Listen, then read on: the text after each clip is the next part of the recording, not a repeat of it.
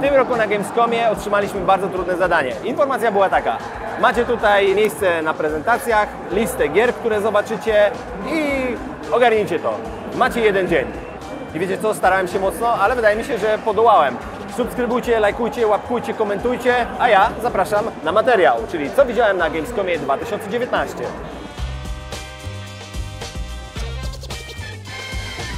Mogę się założyć, że jedną z rzeczy, na którą najbardziej czekaliście na Gamescomie były kolejne informacje o Death Stranding. I wiecie jak to jest, nikt nie wie o co w tej grze chodzi i co się okazało. Na Gamescomie udostępniono oczywiście nowe materiały, ale pokazano dodatkowy trailer, który, uwaga, wyjaśnia sporo z fabuły. Nie wiem czy sporo, ale w każdym razie można zrozumieć o co chodzi. Nie obowiązuje mnie embargo, nie mogłem oczywiście tego nagrać, ale mogę powiedzieć co widziałem. Mniej więcej. Cała sytuacja rozgrywała się w owalnym biurze, czyli tym miejscu, gdzie rezyduje prezydent Stanów Zjednoczonych.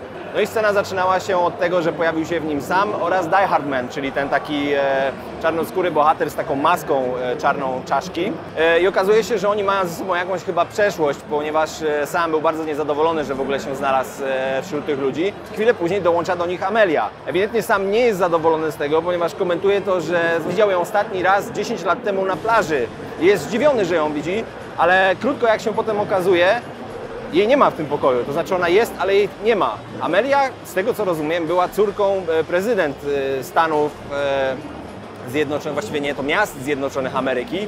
No i jej plan jest taki, aby połączyć wszystkich ludzi znowu razem. W sumie tak jak zapowiedziano, że gra jest o łączeniu świata, cokolwiek to oznacza. Aby to zrobić, Amelia udaje się wraz z, z takim konwojem e, na misję i od miasta do miasta łączy terminale, które pozwolą jej właśnie ludzi ze sobą połączyć, ale zostaje złapana i pojmana przez Hicksa, czyli tę postać, którą gra Troy Baker i zostaje uwięziona w mieście na, z tego co pamiętam, chyba zachodnim wybrzeżu ale pomimo tego, że jest więziona, pozwalają jej kontaktować się, właśnie dlatego w tej formie hologramu może pojawić się w tej sekwencji z Samem i z Die Hardmanem. Co ciekawe, pomimo, że łączy ich historia ze sobą wcześniejsza, Sam, e, tak jak mówiłem, nie jest zadowolony z tego, że rozmawia z nimi i nie chce za bardzo do nich e, się dołączyć, zwłaszcza pokazując e, swoją bransoletę, która okazuje się chyba jakąś formą kontroli, jakimś, nie wiem, kajdanem dziwnym, tak przynajmniej to odebrałem. Die Hard Man stara się go przekonać do tego, aby wziął te takie naszyjniki, które też e, widzieliście na trailerze, no bo one służą w tym łączeniu tych poszczególnych terminali e, w tych miastach, bo niektóre właśnie Ameli się udało połączyć, a niektóre nie. No i sam ma dokończyć tę misję, żeby wszystkie terminale były połączone. Nie jest to może bardzo dużo, ale w końcu można zrozumieć, co sam robi, e, dlaczego będzie się poruszał pomiędzy różnymi miastami. Jest to mega wykręcone i pomimo tego, że nawet sam Kojima pojawił się tutaj e, na tej prezentacji, zapowiedział ją, a potem e, dawał, rozdawał autografy, podpisywał zdjęcia e, i tu muszę mu oddać, obsłużył wszystkich. Cała kolejka była spuknięta na początku, a potem do ostatniej osoby podpisał. Zajęło mu to chyba jakąś, nie wiem, godzinę albo półtorej, coś w tym stylu. Premiera Death Stranding już niebawem i wszystkie sekrety staną otworem, chociaż w sumie przy grach Hideo Kojimy to i tak nawet jak je przejdziemy, to jest duża szansa, że i tak nie będziemy wiedzieć, w co w ogóle graliśmy. Ale za to właśnie kochamy jego gry. Strefa PlayStation na Gamescomie to oczywiście nie tylko gry. E, można było także sobie pograć w piłkarzyki. Była taka ściana z padami bardzo fajna, którą notabene ja wcześniej do naszego studia zrobiłem, więc tutaj skradli mi pomysł chyba. Oczywiście nie mogło zabraknąć także padów oraz słuchawek w nowych kolorach. Niedługo będzie można je dorwać. Wyglądają naprawdę fajnie. Miałem też okazję zagrać w Concrete Genie oraz Medieval, e, ten remaster znanej z e, PS1 gry. Jest bardzo dobrze, akurat te dwa tytuły, nie ogrywałem ich zbyt długo, dlaczego? Ponieważ ich premiery są w sumie już niedługo, więc e, na bank zajmiemy się tymi grami szerzej. Oczywiście miałem też moment obejść inne stanowiska, Monster Hunter, wspaniali cosplayerzy i coś dla fanów Dragon Balla. To stoisko zniszczyło mi umysł, ponieważ może nie jestem aż największym fanem Dragon Balla, ale wydaje mi się, że gdybym był, to bym tam po prostu zemdlał. Wyglądało to wspaniale.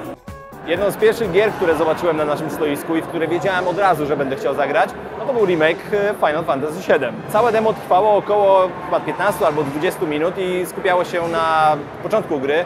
To była ta misja, gdzie udajemy się z Baretem e, na dół i tam musimy podłożyć bombę w reaktorze. Na początku walczyliśmy tylko z żołnierzami, ale to bardzo dobrze, bo można było się nauczyć mechaniki Dopiero po zagraniu w tę grę zrozumiałem, na czym polega zmieniony system walki i to jest y, rzecz, którą trzeba omówić. Przede wszystkim e, jest to połączenie tego, co znamy z Finala 15 no i z systemu z siódemki. Walcząc zadajemy ciosy kwadratem i to możemy robić cały czas, ale atakując podnosimy sobie specjalny licznik, który odpowiada za ciosy specjalne, e, leczenie albo magię, którą czerpie, która czerpie MP. I teraz patent polega na tym, że możemy się w walce swobodnie zmieniać pomiędzy dwiema postaciami. E, Wtedy też możemy odpalić ich ciosy specjalne, jeżeli już możemy to zrobić, wtedy czas, e, czas gry staje, spowalnia. Cały szkopuł polega na tym, że musimy bardzo bacznie obserwować właśnie wskaźniki, kiedy dane ciosy mamy dostępne. One się znajdują w prawym dolnym rogu i tutaj muszę przyznać, że chyba twórcy muszą to trochę powiększyć, bo patrząc się na ogrom akcji, czasem gubiłem się, kiedy mogę wykonać jakiś cios specjalny, a kiedy nie. Walka z robotem jest ciężka, ponieważ czasem on strzela rakietami, czasem skacze na ściany, czasem odpala swój laserowy ogon, wtedy musimy się schować za gruzem, który akurat pojawia się e, na mapie. Żonglowanie pomiędzy tym, co widać, a tym, co musimy przeskakiwać w menu i wybierać sobie taki specjalny jest e, bardzo takie e, chłonie naszą uwagę i do tego się trzeba mocno przyzwyczaić. To mnie akurat zdziwiło, myślałem, że to będzie prostsze. Mam nadzieję, że nie jest to przekombinowane. Też nie wiemy w tym momencie, gdzie ten pierwszy epizod, który wyjdzie w styczniu lub marcu, tak? W marcu on będzie się kończył, no bo mamy na razie tylko Midgar jako miasto. Nie wiem, czy to jest do momentu, kiedy je opuszczamy, czy do połowy. Jestem bardzo tego ciekaw, ale to, co muszę powiedzieć, fenomenalnie zrobione postaci. Wygląda graficznie to wspaniale, muzyka jest wspaniała. Kiedy słyszałem te klasyczne kompozycje na nowo rearanżowane, po prostu dostawałem gęsiej skórki. No i cały dubbing też akurat w tej wersji, której graliśmy, e, był on japoński. Jest to klimat taki z filmów anime, bym powiedział, czyli bardzo ekspresywnie, bardzo mocno, a Bareta głos naprawdę jest spoko. Final Fantasy VII zdecydowanie jest jedną z gier, które czekam najbardziej e, w następnym roku i to demo tylko zaostrzyło mój apetyt.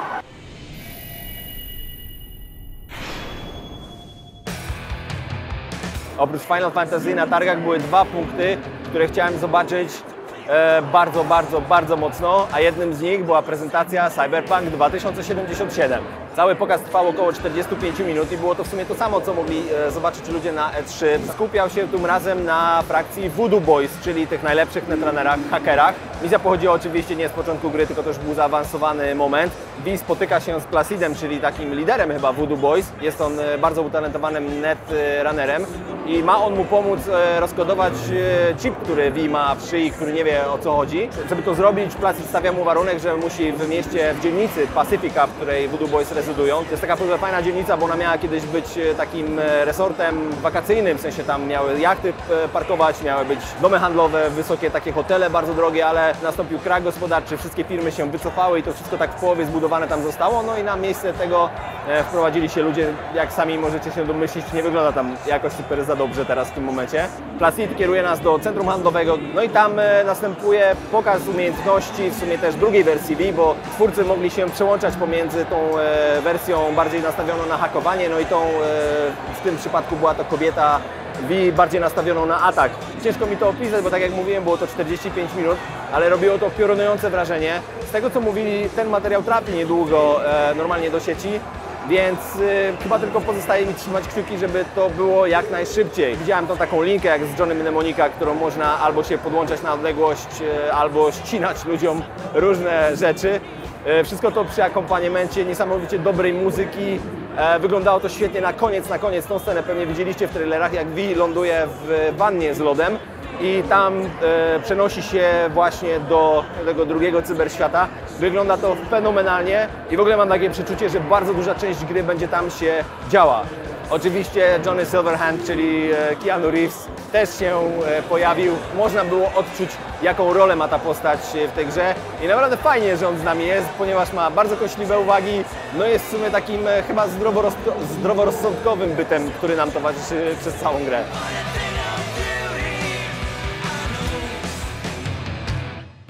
Ktoś kiedyś powiedział, że w Dreams można zrobić wszystko. Myślałem na początku, że to jest taki, wiecie, slogan reklamowy, przesada, ale to jest prawda. To, co widziałem, zniszczyło mi kompletnie umysł. W prezentacji uczestniczyły trzy osoby. Był starszy programista, e, który opowiadał o tym, jak w ogóle gra wygląda. Przez e, pół godziny pokazywał nam narzędzia, które są wykorzystywane do tworzenia poziomów, ale to, co mnie zniszczyło, to jest to, w jaki sposób można robić muzykę, bo tak, w Dreams można także robić muzykę. I nie jest to tylko takie wrzucenie sobie jakiegoś dźwięku. Po prostu cały program daje nam właściwie to, co mają takie edytory do robienia muzyki na komputerze. Ze wszystkim, z robieniem ścieżek, z instrumentami. Można sobie swój głos nagrać, e, który potem można normalnie jako instrumentu używać. Naprawdę nie spodziewałem się, że Dreams ma tak bardzo rozbudowaną stronę tworzenia. Te gry, które można było tutaj zagrać, e, były takie proste. Skakaliśmy jakimś takim ludkiem, zbieraliśmy monety, ale najfajniejsze było to, że one były stworzone przez e, społeczność. Jedna z nich to była, porównałbym to do Podracera Gwiezdnych Wojen, czyli pustynne klimaty, unoszące się nad ziemią taki statek szybki, nim można było szybko mknąć po kanionach.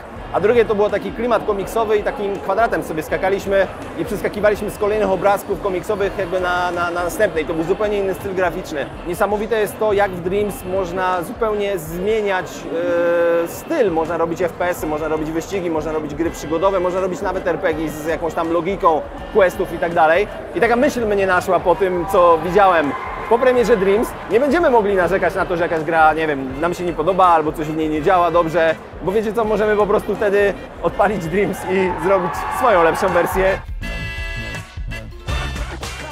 Miałem też okazję na krótką sesję z Ironmanem od Marvela na PSVR. To, czego doświadczyłem, to było w sumie, tak mi się wydaje, chyba taki level tutorialowy, bo to była pierwsza misja, gdzie lataliśmy tam, gdzie jest willa e, Tonego Starka. Uczyliśmy się latać, uczyliśmy się sterować i strzelaliśmy do dronów. Sterowanie Ironmanem w ogóle było bardzo ciekawe, bo PS-mowy, które trzymaliśmy w rękach, e, imitowały te takie, nie wiem, silniki odrzutowe, które Iron Man ma na, na dłoniach, więc aby lecieć do przodu musieliśmy wziąć ręce za siebie i odpychać się po prostu, a kiedy strzelać chcieliśmy, musieliśmy skazać na cel e, otwartą dłonią i to było bardzo ciekawe, bo mogliśmy nie tylko strzelać dwoma rękoma w różne miejsca, to jest bardzo w ogóle ciężkie, no ale mogliśmy na przykład jedną ręką przyspieszać, a drugą e, ręką strzelać i to było całkiem ciekawe. Jedna rzecz, o której muszę od razu powiedzieć, to jest to, że e, jeżeli chcemy lecieć w drugą stronę, to po prostu musimy się odwrócić i, i w tą drugą stronę lecieć.